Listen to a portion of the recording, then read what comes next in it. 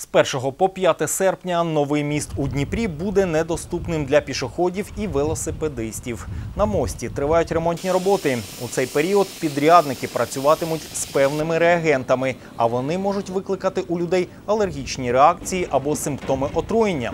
Аби запобігти шкоди здоров'ю людей, міська рада вирішила тимчасово закрити рух мостом для всіх. Там будет специальное ограждение, там будет стоять муниципальная варта, будет стоять дополнительное заграждение, будут стоять информационные щиты.